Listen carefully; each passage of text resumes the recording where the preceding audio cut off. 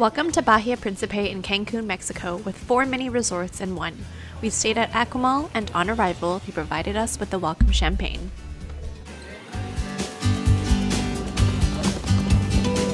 It's too hot! Since this resort was super huge, you need to get on one of these carts to realistically visit the other mini resorts in this heat.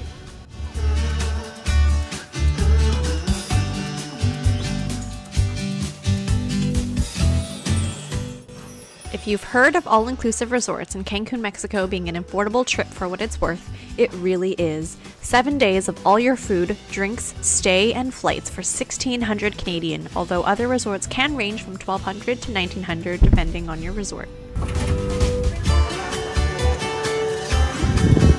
The water looks so blue.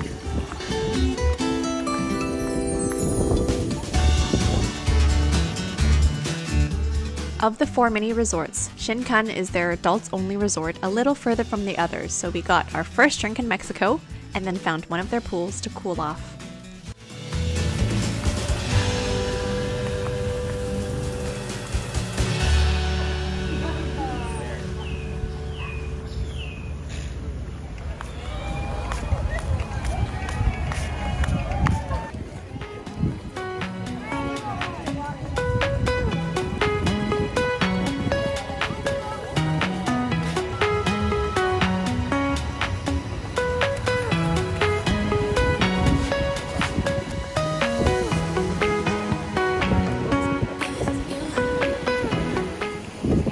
This resort offers a choice of one fine dining a la carte restaurant from the total of nine every day, so we chose every dinner to dress up for it while trying all the other different buffet options for breakfast and lunches.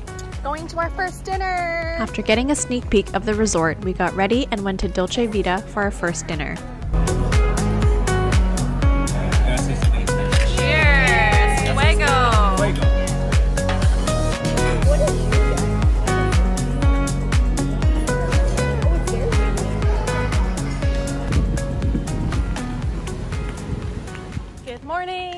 Two. We're just heading down to get some snacks and coffee.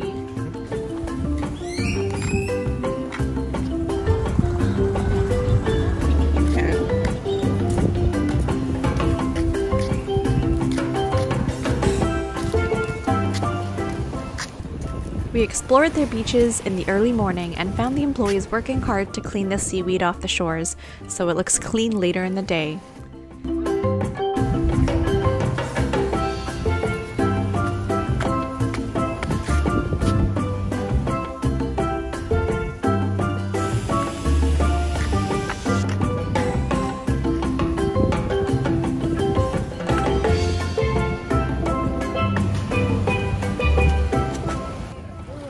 Pools were still empty, so we took a morning dip before our first breakfast buffet.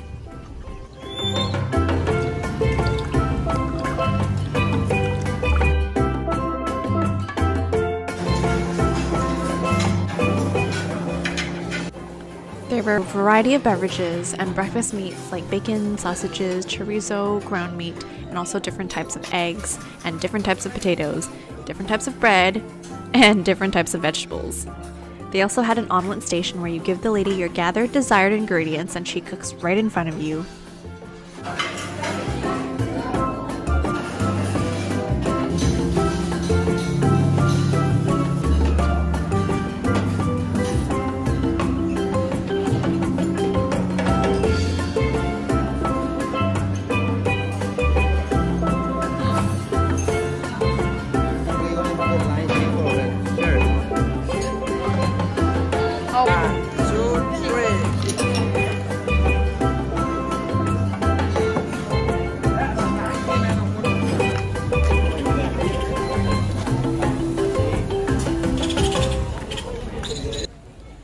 We all explored the resort called Coba that day and their pools.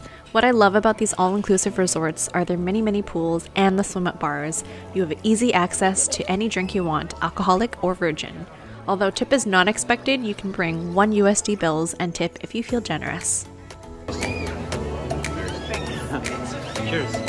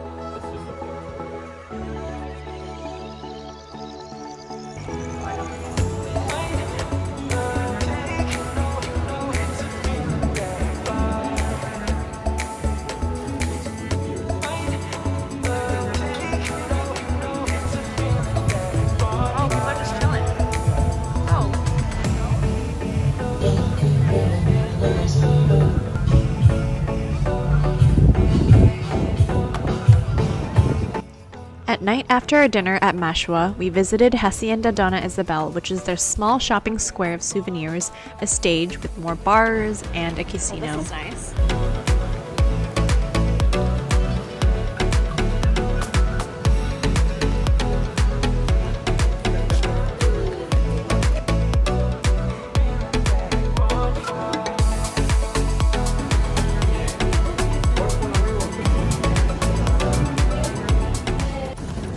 The way back to Akumal, there was a music event where you choose a channel on their headphones and each color will have a different song. From an outsider's point of view, there is no music and you're just watching people dance.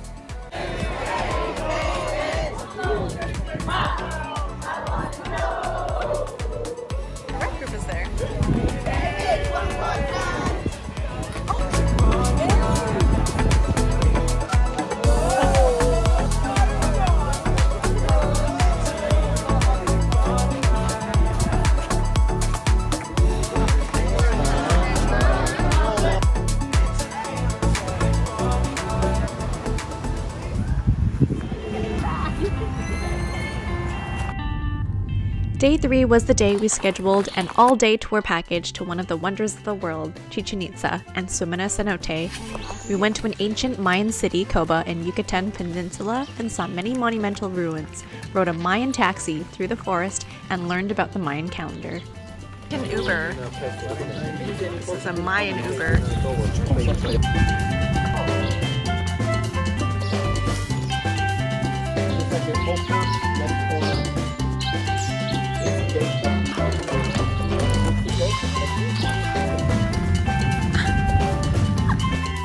We made a quick stop in the city of Valladolid with its own historic charms despite it being less tourist oriented. It boasts a unique blend of colonial architecture and Mayan influence. It's recently emerged for tourism and offers visitors and tour groups to experience the natural beauty of Yucatan Peninsula.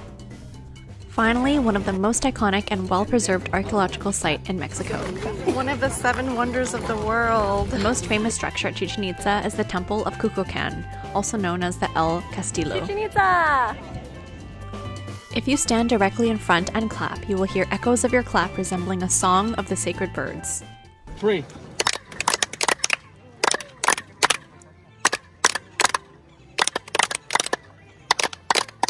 There you go. During the spring and autumn equinoxes, the sunlight creates a shadow on the pyramid that resembles the serpent slithering down the stairs, an incredible testament to the Mayans' understanding of astronomy and the reverence for the feathered serpent god Kukulkan.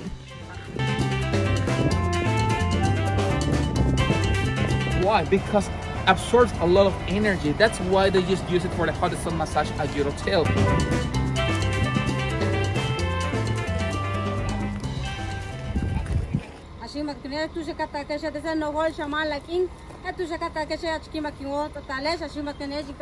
Tu malo ni. Malo, malo. Malo quem? Have the good spirit and as well the good love, you know? As well, you have to. You have to spar. You ah. Chumuk! Chumuk! Quick tawa. Ichi! Ichi! Hmm. Oh, good, huh? Tastes good.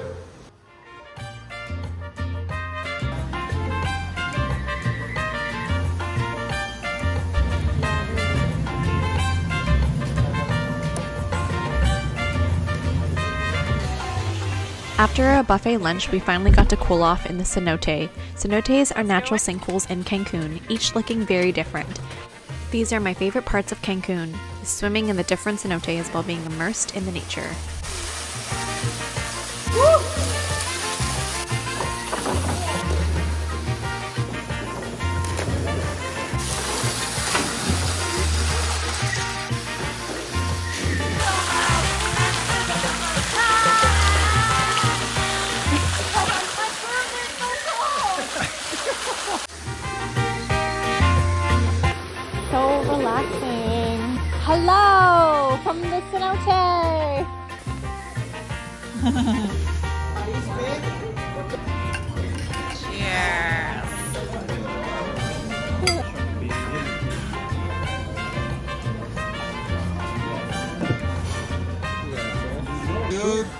Wow.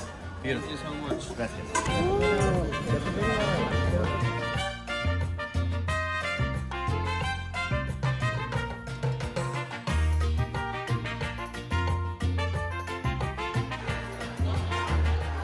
We checked out the sports bar after dinner, took some shots, and played some pool.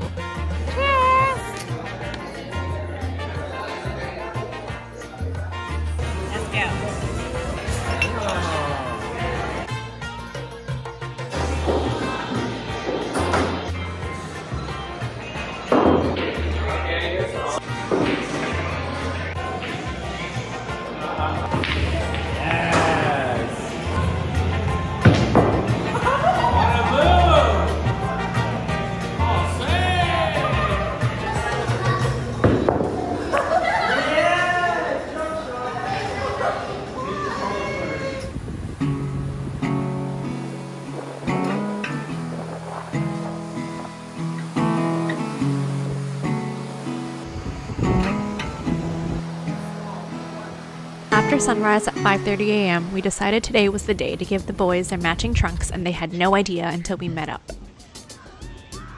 Oh my god.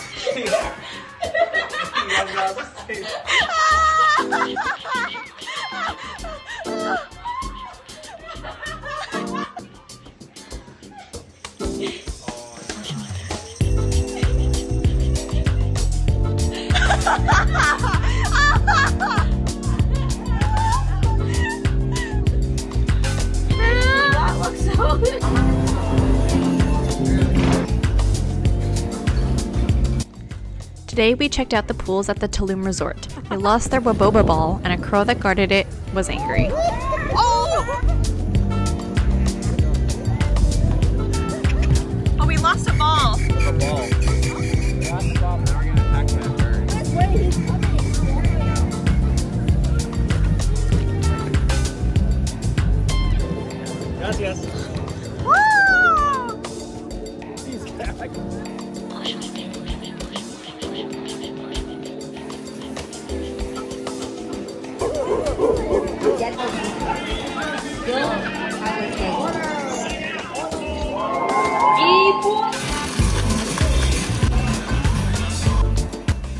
Staff at the poolside snack bar were wanting their pictures taken, but I think I just wanted my tacos. You want to take a picture? Come in. Take a picture.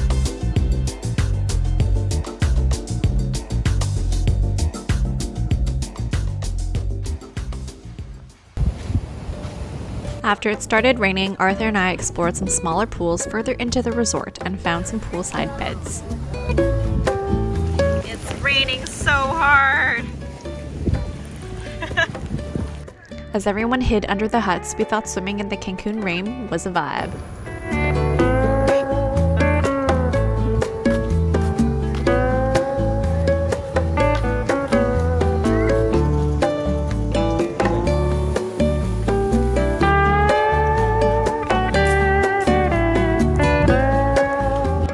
We cleaned up and showered and met for dinner at La Gran Tortuga, serving various Brazilian grilled meats sliced in front of you. The fruit and dessert section always gets me, but you have to be careful of eating fruit washed with their tap water, as tap water is not drinkable in Mexico.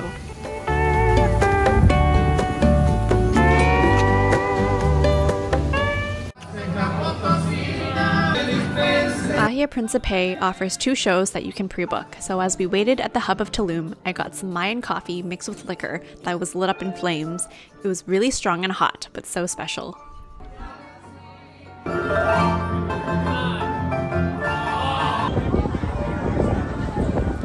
The story Origins that we watched is about the culture and traditions of Mexico, showing the journey of sacred Mother Earth, protective spirits, spiritual legends represented through color, dance, and acrobats.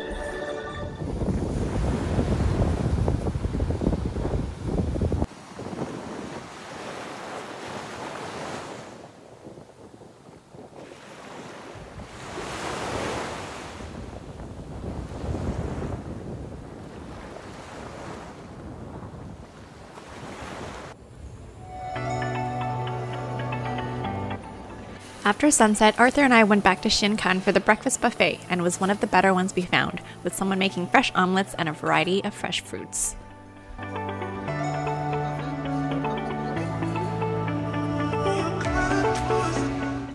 This morning, we all rented cars to drive nearby for a cenote swim.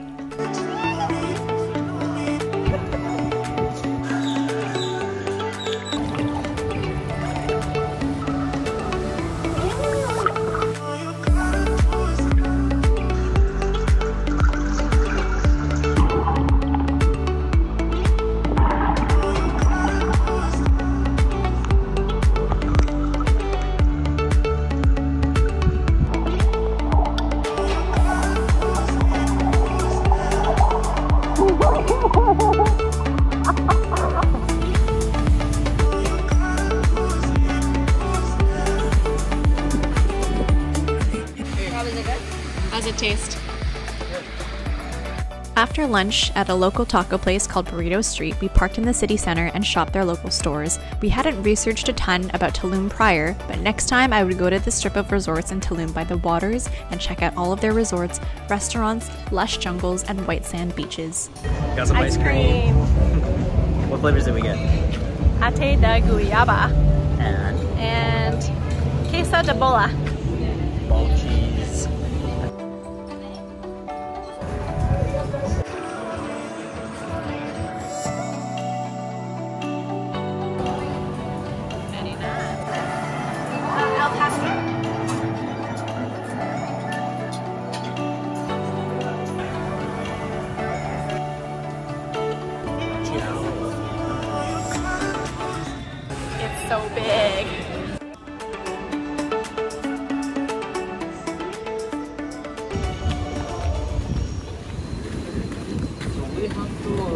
Early next morning, we drove nearby to the small town Akumal, 15 minutes from us, by 8 a.m. to swim with sea turtles. You can find many sea turtle snorkeling groups that try to sell you a high price, but we went with Akumal Dive Shop for a decent price and a welcoming guide.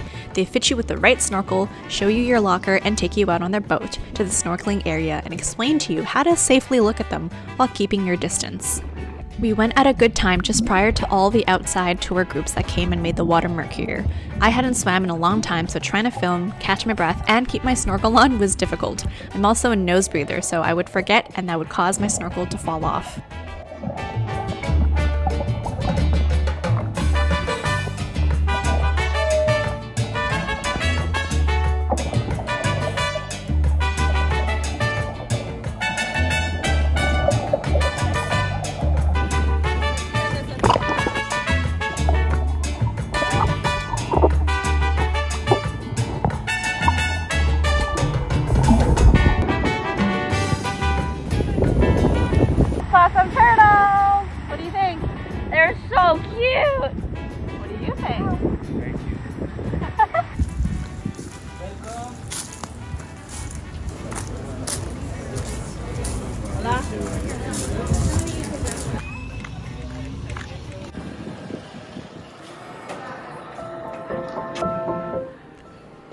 To dinner at Alush at Sian Ka'an, we checked out their pool, which was smaller and definitely all adults, so it was calmer and quieter.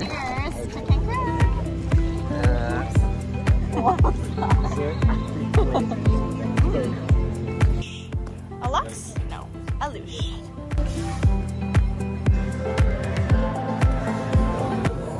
As you can tell, all these restaurants love to pour soup or sauce onto the dish.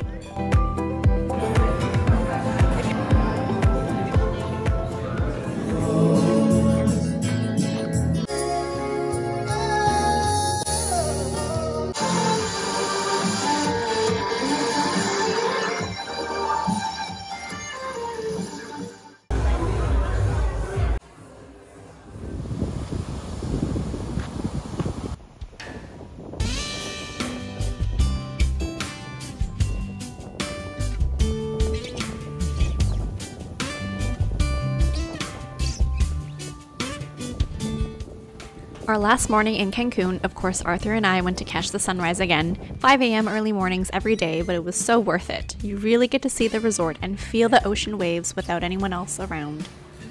Las Corales was one of the last breakfast buffets to have, and it was beside the infinity pool, so it was perfect. This was our last pool dip before heading to the airport.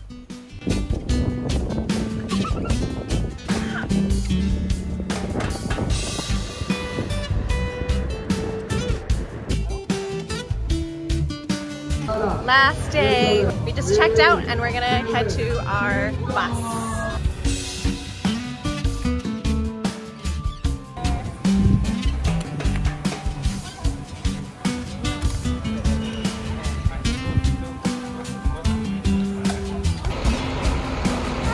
Let me know in the comments if you've got any questions about all inclusive resorts, as this was my second experience.